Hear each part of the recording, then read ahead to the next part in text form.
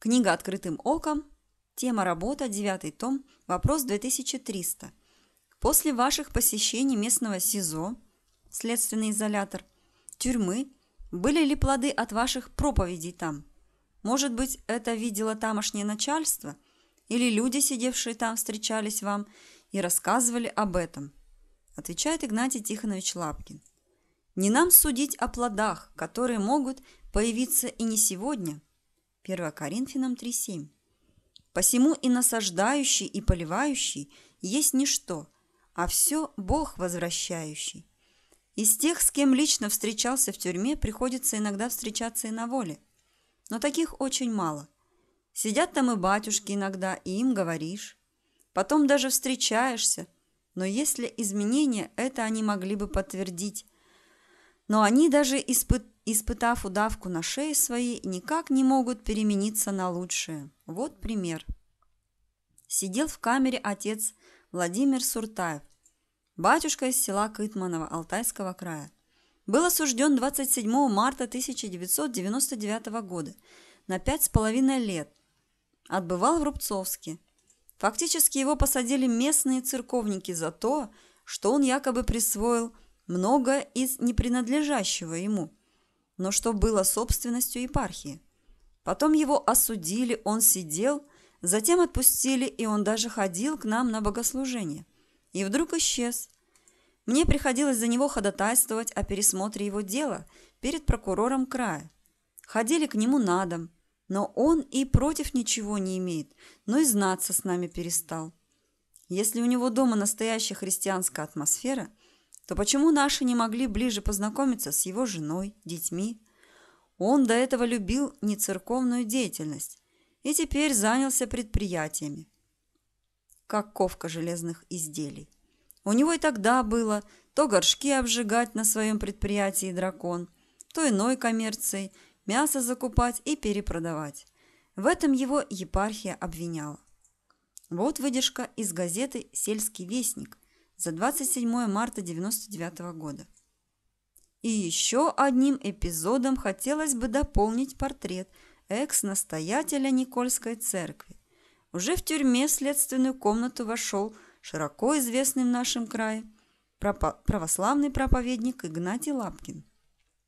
В непродолжительной беседе с Суртаевым он посоветовал ему отказаться от неправедно нажитого имущества в Кытмановском приходе – и покаяться перед Богом во всех грехах, молиться и молиться, выпрашивая у Всевышнего прощения.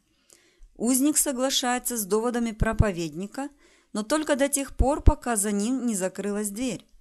После этого Суртаев вновь заявил, «Как же я могу отказаться от всего этого имущества, если оно мое?»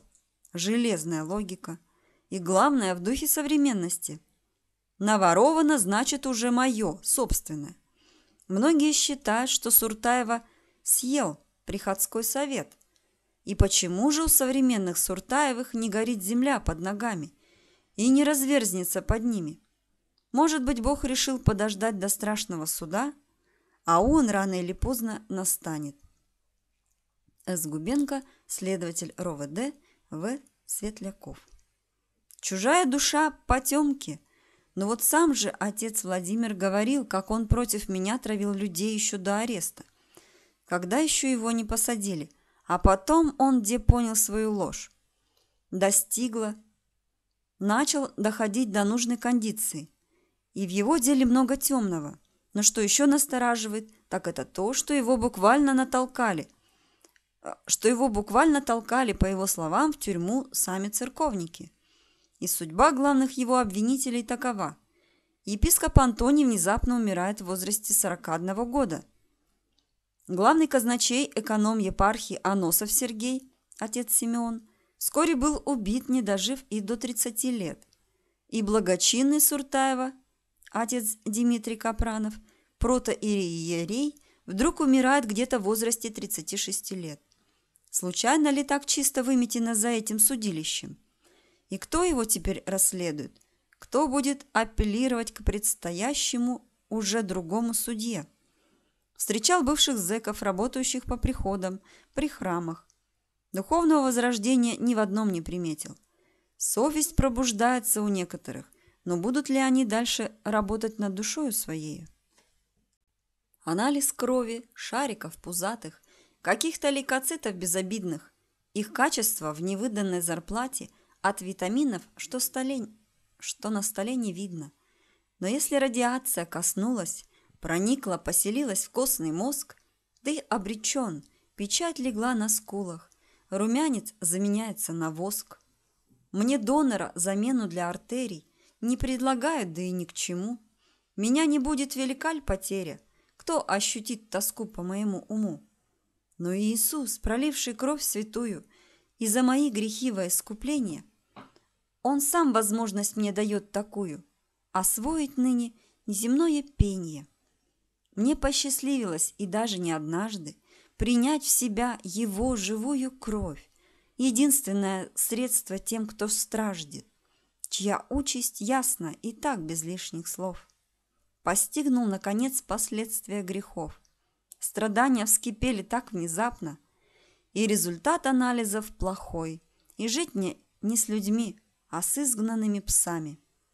Кровь и душа, душа в крови животных, под страхом смерти не вкушайте крови.